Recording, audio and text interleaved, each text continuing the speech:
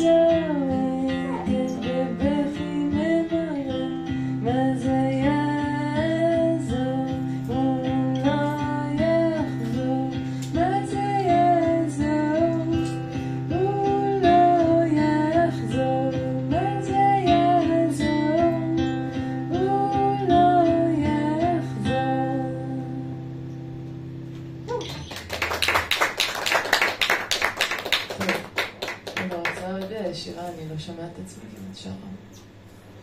התחלתי עם שיר שלא התכוונתי לנגן בכלל.